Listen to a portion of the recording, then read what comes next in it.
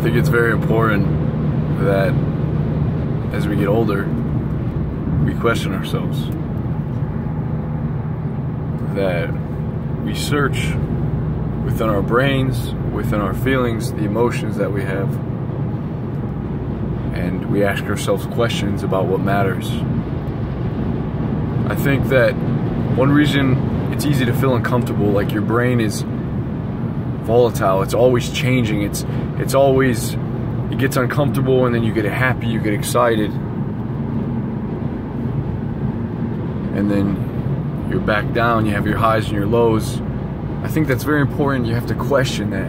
Why am I feeling the way that I'm feeling? And I believe that's has something to do with your gut. That's listening to your gut, what your brain has to tell you, what your body is saying to you. Maybe you're getting off track. Maybe you're you're not staying focused. As we get older, one of the biases, senescence, is sort of being stuck stuck in convictions, being stuck in your ways. And I think part of the reason is as we get older, we just get stuck in habit. Repetition, the road of doing the same thing over and over, living the same day over and over again, even if that day is unhappy or being stuck in a way of feeling that you just come to accept.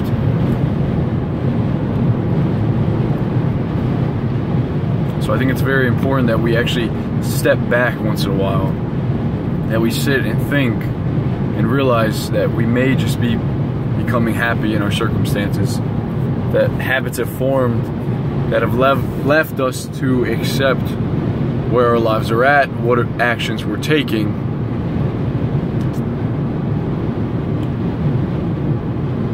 And it's hard to break out of that. Once we are in that way of thinking in our lives, it's hard to escape.